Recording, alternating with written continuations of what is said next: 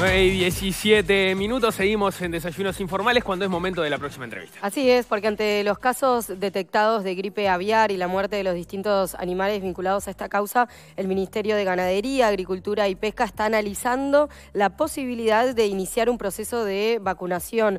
Esto lo está haciendo, esta propuesta está siendo estudiada por un grupo de especialistas tanto del sector público como del sector privado, así que para conocer más detalles sobre esta iniciativa recibimos ahora a quien está liderando este asunto dentro del Ministerio, Diego Freitas, director de Servicios Ganaderos. Bienvenido. Bienvenido, ¿cómo le va de Freitas? Buenos días, muchas gracias por la invitación. Bienvenido. ¿Cómo evalúa hoy la situación respecto a la gripe aviar? ¿Estamos ante un escenario de preocupación? Sí, sin duda, es algo que nos preocupa y, nos ocupa. Como todos saben, eh, la influencia aviar eh, a principios de año todavía era una enfermedad exótica para nosotros, no la teníamos en el país. A partir del 13 de, febrero surgió el primer caso en, aves, eh, en aves silvestres, en cisne de cuello negro, en la laguna Garzón del departamento de, Maldonado, y después surgieron seis focos más. Tuvimos este, dos focos en San Gregorio de Polanco, focos este, en aves de Traspatio, después este, en la zona de Monarca, en, Montevideo, en Tapia, en Canelones, y ahora en Solimar también este, un foco de, cisne de cuello negro y ahora tuvimos este, en Flores, en, la reserva de Talicher, ayer tuvimos este, también de, aves silvestres. Sin duda que, no, que no, nos preocupa, es un tema que inclusive lo venimos manejando a nivel de, la región. Eh, hoy en América del Sur, menos Argentina, eh, menos perdón, Brasil y Paraguay, que no han denunciado casos de, influencia, el resto de los países lo tenemos. Nosotros este, integramos el CBP, que es el Comité Veterinario Permanente, que lo integran Argentina, Bolivia, Paraguay, Brasil, Chile y Uruguay, donde tuvimos una reunión ahora en Buenos Aires, tenemos reuniones frecuentes y, también por Zoom, esta fue presencial en Buenos Aires, donde estuvimos analizando toda la situación de, la región, la situación de cada país y también todo lo que tiene que ver con el tema comercial, ¿verdad? Porque acá este, hay países, lamentablemente, como Argentina, Bolivia y Chile, que ya han perdido el estatus sanitario porque han tenido focos en, lo que tiene que ver con las granjas comerciales y eso dificulta este, todo lo que tiene que ver con la comercialización. Ahí está, en la medida que sean este, que, no, que no sean granjas comerciales y sea ya sea traspatio o alves silvestres, este, no, no se entra en ese claro, problema. Que es lo que hoy, Uruguay, si bien tenemos siete focos, seguimos manteniendo el estatus sanitario. Por otro lado, lo de Brasil y Paraguay eh, parece ser más un tema de detección que de que efectivamente no, no, exista, ¿no? Porque parece difícil que estando en todo el continente, Brasil con la dimensión que, tenga, que tiene no tenga aves silvestres en esa ah, Pero este, a la fecha de hoy todavía no, no han denunciado este, ningún caso ante la Organización Mundial de Sanidad Animal, que es donde hacemos este todos los países cuando tenemos este, una enfermedad hacemos la denuncia ante la, Organización Mundial. ¿Y en qué situación? Adelante, Leo. No, no, me preguntaba si no, si no es este voluntarismo pensar que no va a llegar a los, este, las granjas comerciales. Bueno, estamos trabajando para, para, eso, ¿verdad? Y ahí es muy, muy importante todo lo que tiene que ver con la bioseguridad, todo lo que tiene que ver con las medidas preventivas este, nosotros en, el Ministerio y el equipo técnico de, Sanidad Animal y también de Avicultura y de Epidemiología ya han difundido todas las medidas preventivas que, le estamos pidiendo a, las granjas llevar adelante, porque sin duda nos preocupa cualquier foco, ¿verdad? Ya sea silvestre, ya sea este, de traspatio, pero de ingresar en la parte productiva, en la parte comercial, sin duda este, los perjuicios económicos serían muy grandes y también estaríamos ante la pérdida del estatus sanitario que hoy lo seguimos manteniendo. Me, hace acordar, capaz que no tiene nada que ver, usted me corrige, ¿no? pero cuando empezó el foco de la aftosa también había mucha gente que no quería vacunar para mantener el país libre de aftosa y, bueno, no era, hubo que vacunar, no había otro camino, ¿no? Sí, hoy, hoy el tema, y está bueno esto de, de la vacunación, hace un año por ejemplo, un año atrás, capaz que ni, un año atrás, seis meses, ocho meses atrás, no se hablaba de la vacuna. Y no se hablaba de la vacuna a nivel de la región. Hoy prácticamente todos los países están estudiando, están evaluando la posibilidad de, vacunar. De hecho, ya hay países, eh, Ecuador está vacunando, Perú está vacunando, Bolivia está vacunando, México, México ya hace unos años que está vacunando, pero también Estados Unidos y Canadá están estudiando la, posibilidad de producir vacunas de ellos. O sea que ya es un tema que se está manejando a nivel del continente. A nosotros las autoridades nos pidieron que hiciéramos un estudio, una evaluación, a ver si entendíamos que era conveniente vacunar y si era conveniente vacunar, qué vacuna aplicar y en qué categorías. Hay muchas vacunas en, el medio. Eh, nosotros estuvimos trabajando con, el equipo de epidemiología y el equipo de sanidad animal en servicios ganaderos. Hicimos un informe, ya lo tienen las autoridades y el ministro en estos días va a estar informando este, sobre los pasos a seguir.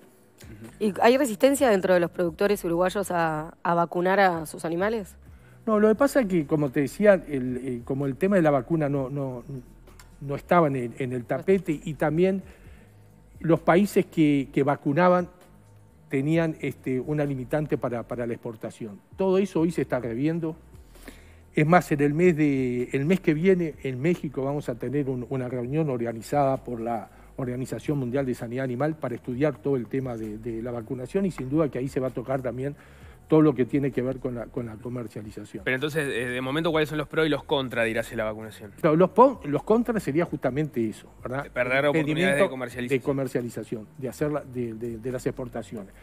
Que en esos casos también muchas veces hay recomendaciones de la Organización Mundial de Sanidad Animal, pero después están todas las negociaciones bilaterales, ¿verdad? Igual Uruguay exporta poco, ¿no? Uruguay exporta poco, pero también Uruguay está trabajando mucho en el, en el tema aviar. Este, cuando asumió este gobierno, se, nos pidió y se pidió a Servicio Ganadero que se trabajara mucho en el, circuito aviar y en la, en la, parte de cerdos, este, tratando de habilitar mercados. Se han habilitado mercados y obviamente se está tratando de aumentar este, las, las exportaciones de carne Y, en, el caso de, la vacunación, eh, ¿el que pierde la, posibilidad de comercialización es el país en su conjunto o es el productor concreto que vacunó? No, no, no. Es este el país que está vacunando. Pero por eso, tío, todo esto se está reviendo, porque como te decía, hace meses no, no, no se hablaba de la vacunación. Hoy la vacunación está en, el tapete, todos los países estamos, este, inclusive Tuvimos, este, hubo la reunión ahora del CAS, del Consejo Agropecuario del Sur, que lo integran los, los ministros, que fue en la reunión en, Colonia, donde fuimos invitados el CBP por el presidente del CAS, que es este Fernando Matos, nuestro ministro de, Ganadería que está presidiendo el CAS, donde también hicimos los planteos, que fue un CAS inclusive este, histórico, porque estuvo presente el presidente de la República, un hecho que en, ningún caso había estado un presidente y por lo tanto tuvo sin duda el reconocimiento de, todos los ministros y donde planteamos, cada país planteó la situación y también todo lo que tiene que ver con el comercio y también este, el tema de, la vacunación. Capaz que le termino haciendo una pregunta muy tonta, pero em, si en definitiva estamos hablando de que no se da el contagio a través del, producto de la alimentación, ¿por qué cae el estatus sanitario? ¿Por qué no se puede comercializar de un país al otro pollo congelado, supongamos, si no hay riesgo de contagio. Claro, el riesgo de contagio, o sea, el, contagio de, la, de, la, gripe aviar es, este, es contacto directo, el contacto directo, pero también por este, objetos contaminados, ¿verdad? Entonces por ahí, por ahí también está el, ¿Y los componentes? Era tonta la pregunta, ¿no? No, no, no. La mía capaz que también es tonta ahora. Los componentes, de, está comprobado científicamente que los componentes de la vacuna son inocuos para los seres humanos que coman esos animales inoculados. Sí, perfecto. Y, está buena la, pregunta que, que haces porque nosotros siempre remarcamos, cada vez que tenemos esta posibilidad de de poder difundir todo esto, que el consumo de carne aviar y el consumo de huevo no causa ningún daño a la salud humana. Eso está más que comprobado, darle la tranquilidad a toda la población que se puede consumir carne aviar, que se puede consumir huevos, que no causa ningún daño este, a, la, salud humana. Mm. ¿Cómo, ¿Cómo, evoluciona esta, esta epidemia? En, ¿Cómo ha evolucionado en otros países que la tienen desde antes? Este, ¿Las aves silvestres la superan en algún momento o sigue circulando permanentemente? Bueno, para saber si, si lo que se trata justamente cuando, y por eso decimos que cuando hay, hay un foco, y, un foco, por ejemplo, que hemos tenido en Traspatio, eh, generalmente se hace la denuncia por la muerte de, las aves, ¿verdad? Y después, una vez que se comprueba, se sacan muestras, se mandan al laboratorio oficial, que es el DILAVE, y una vez que se comprueba la enfermedad, se elimina todas, este, todas, eh, todas las aves. ¿Para qué es eso? Para evitar la circulación viral, que es lo que se trata de, hacer para evitar este, tener nuevos, nuevos contagios. Pero me refiero si el virus ya, como hemos visto en, la pandemia, por ejemplo, em, se va adaptando las poblaciones a, convivir con ellos o sigue siendo letal desde que empezó hasta este momento? Sí, hay, hay también, este, cuando hablamos del virus de, la influenza, el virus tiene dos características. Una es altamente este, contagioso, ¿verdad? Y después que se puede presentar de dos maneras, de alta patogenicidad y de baja patogenicidad. Hoy el que tenemos acá en el país y lo que, el que tenemos en la región es de alta patogenicidad, es el H5N1, es el que está circulando en la, en, la región. Este, bueno, y ese es lo, lo, que estamos trabajando para tratar de, de, mitigar y con todas estas, con estas medidas preventivas tratar de, evitar que ingrese este año. ¿Y, tienen alguna explicación de por qué serían los cisnes el ave más este, afectada hasta el momento? Porque prácticamente todos los focos silvestres se han concentrado en cisnes, no solo. tenemos cuatro, tenemos cuatro y solo este, tres, por suerte, en, granjas comerciales. No, eso no. No hay una explicación.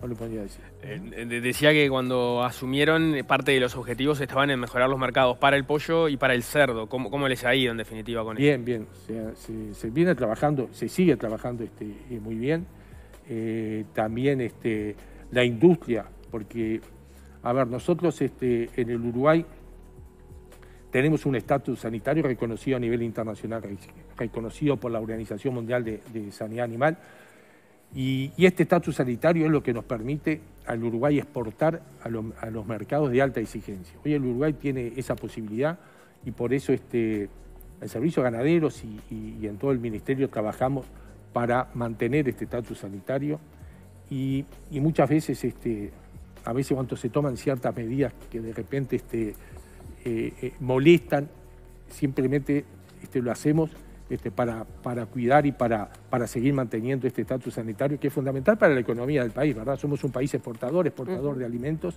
y tener este estatus sanitario es lo que nos permite acceder a, los mercados que, que hoy estamos accediendo. Muy bien, vamos a seguir entonces con atención cómo evoluciona toda la situación. Diego de Freitas, director de Servicios Ganaderos, gracias por esta entrevista. gracias. Muchísimas gracias. ¿eh?